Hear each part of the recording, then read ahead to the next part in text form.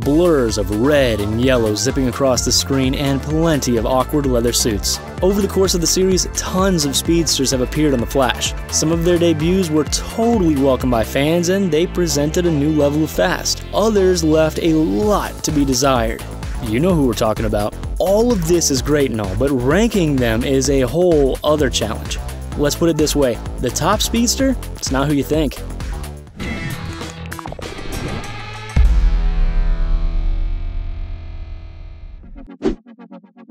Eliza Harmon was a simple, hard-working lab assistant before a test of V9 turned her into a speedster. Unfortunately for her, the effects of Velocity 9 were imperfect and caused a bit of an identity crisis in her mind. Her personality split and she became Trajectory. Yeah, it's a silly name, but we're not here to judge her on her name. Harmon accomplished a lot in her short time as a speedster. Sadly, she didn't really show a natural ability for it. Trajectory was pure scientific experimentation. Eliza Harmon barely qualifies as a speedster to make this list. It's like giving credit to Dave Navarro for being a part of the Red Hot Chili Peppers. Sure, one album is one album, but that is the bare minimum, man. Trajectory was defeated by her own inability to handle all that raw speed. She was barely faster than a slower version of Barry Allen, and it cost her everything. She did go out in a bolt of glory, which gives her some real street cred. However, the Flash wasn't even close to his current speed at the time. We think it's pretty fair to put her at the bottom of these rankings for that reason alone. Edward Clariss is a man of mystery. It's not clear how he was connected with the Speed Force, but somehow, some way, it happened. The worst part is he's probably the worst of the natural born speedsters. Eddie, man, you really gotta stop challenging people to races that you're not gonna win. Clariss was introduced in the Flashpoint timeline as the main opposition to Wally West. He was called the rival despite the fact that he claimed that no one could rival him. Talk about a severe case of mixed messaging. It's like he got his concept from the whole Who's on First skit. Wally West's rival is the rival, but the rival claims to have no rival. Tell us that didn't make your head spin. Regardless, Clariss was always a sore loser, but proved time and time again that his speed was just not up to par. He lost races to Kid Flash and Flash. He's like a sports team in perpetual disrepair. He thinks every new season is going to be the big one, but keep dreaming, Clariss. You'll always have the big moments before the sawmill, but even those can't make up for the L's you took. You didn't need the comics to know that Jesse Wells was going to become a metahuman. Harrison Wells literally called her Jesse Quick. Talk about an obvious hint towards her destiny in the show. All that being said, it was nice to watch her slowly learn to grasp her powers. Fans don't see much of her anymore, but she definitely left her mark. For a while, Jesse Quick was the new young hero that everyone got all excited about. Fans were hoping that she could offer a refreshing outlook on a team that was starting to get super depressing. Unfortunately, the character arc never materialized and Quick found herself quickly playing second fiddle in every episode. All this eventually affected her place in the speed ranking. This list is about speed. Jesse Quick has some fantastic stamina, but her top speed is actually considerably slower than Barry Allen and other members of Team Flash. A considerable part of that is her lack of exposure to the Speed Force and the way that she is just cast aside by the scriptwriters. For all we know, she is much faster now. However, all viewers get now from Jesse Quick is a quick appearance or a brief mention.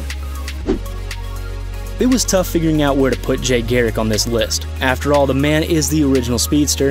He's the classic Flash with all the retro appeal that fans of the comics know and love. Still, despite the admiration, it's hard to gauge where he fits in this lineup. Garrick is nearing retirement by the time he's introduced to audiences. His body can't keep up with his powers like it used to in the old days. Still, the dude occasionally shows up and gives us a glimpse of serious speed. He's able to jump into the speed force just like Barry Allen, and we get the impression that he was faster at one point. However, we can't count what we don't see. I mean, you know what we mean.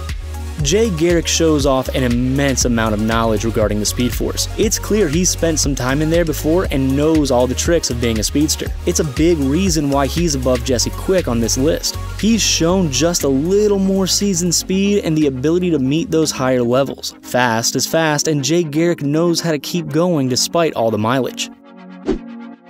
If there was a soul searching list, Wally West would be at the top without a doubt. He's been called the second fastest man alive, and at this point, he's actually starting to look that way. However, there are a lot of defeated speedster villains that Wally West was no match for, so keep that in mind. Wally is a frustrating enigma that we've been trying to crack every season. Every time he shows up, he is way faster than he previously was. He's like the friend who shows up to all your parties with homemade bean dip that slowly gets better over time. You don't know how he's getting the time to practice, yet he somehow comes up with ways to keep improving it. It's a weird metaphor, but it's the only way to explain this irrational phenomenon. We don't blame the Kid Flash for always disappearing. A lot is going on behind the scenes to make that happen. It just makes it hard to measure his real speed. Barry claims that Wally is as fast as him at one point, but the evidence just isn't there. I mean, Savitar still defeated the two of them, and it wasn't even a contest. We want to believe that Wally's the second fastest, believe me, we really do. The proof just isn't in the pudding quite yet. Remember that one scene in Back to the Future? You know the one. Yeah, that's the one.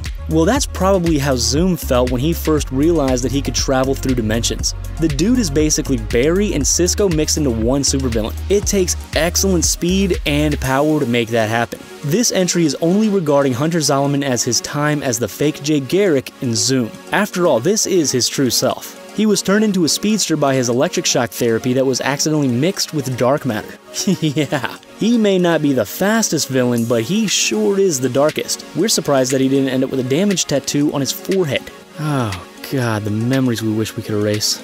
Despite all the speed and rage, Hunter Zolomon was still just a rat in a cage compared to the Scarlet Speedster. No amount of V9 and power stealing was going to change that fact. It was fun to watch Barry attempt to outrun Zoom for a while, but apparently Hunter's bad childhood was his downfall. Honestly, it's still not totally clear what kept him from gaining speed, but it's still canon, hence his placement on this list fans were so eager to see the true identity of Savitar be revealed, theories were swarming around the web.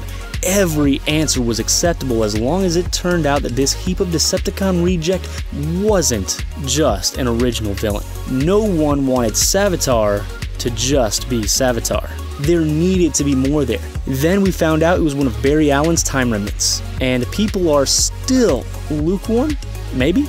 For all his powers and stature, Savitar is so underwhelming, it feels weird giving him such a high spot on this list, but he clearly earned it. It feels like the show spent way too much time telling us how bad Savitar was and not enough time actually showing off all the powers the guy possessed. They called him the God of Speed. If he's that almighty, he should be the number one entry here, but he's not. The Flash beat him, and other villains honestly seem faster. Maybe it's wrong. He's fast as all get out, but faster moments have happened. Yes, he's technically future Barry Allen, but current Barry Allen is faster than him now, which means the speedsters that the Flash has faced since Savitar's defeat are far quicker than him. At least we think that makes sense. Gosh, time travel is really confusing, guys.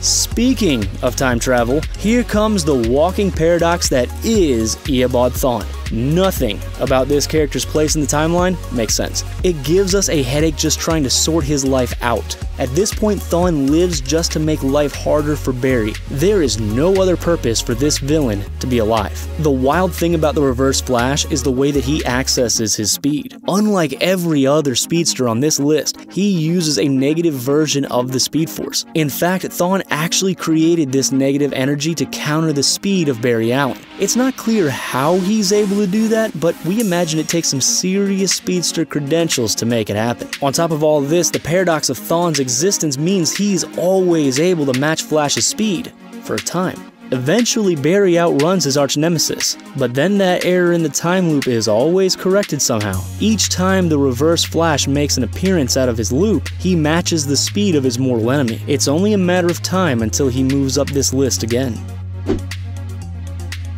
Now, now, calm down, comment section. We're not buying into this whole Barry's the fastest speedster narrative. The only fact that we know is that the potential for improvement is unlimited. So, yes, at some point, Barry is going to end up at the top of the ranks, but we just don't think he's there yet. The Flash is constantly finding ways to pick up more speed and overcome challengers. He can outgain Zoom, Savitar, Nora, and Wally with only a few speed bumps along the way. He's the titular character, and his powers are unmatched by every other speedster out there. The only person who comes close to his speed is Eobard Thawne, and we just went over why that's the case. Back in the early days of the show, it was a big deal for Barry to reach Mach 2. Now he does that in his sleep. The progress from day 1 to now is incredible to look back on. No one disagrees that Barry Allen is the fastest man alive. We're not disagreeing with that idea. The point is, Barry Allen will be faster than our number one soon. But that's not the case right now. Sorry, Flash fans, but it's time to admit the real number one. We said Barry Allen is the fastest man alive. That doesn't include Black Flash in that list. The only thing slowing down this character is the show's writing. He is shown as a severe danger to both Thawne and Allen on numerous occasions. We've seen Black Flash race toe to toe with the two best and barely flinch.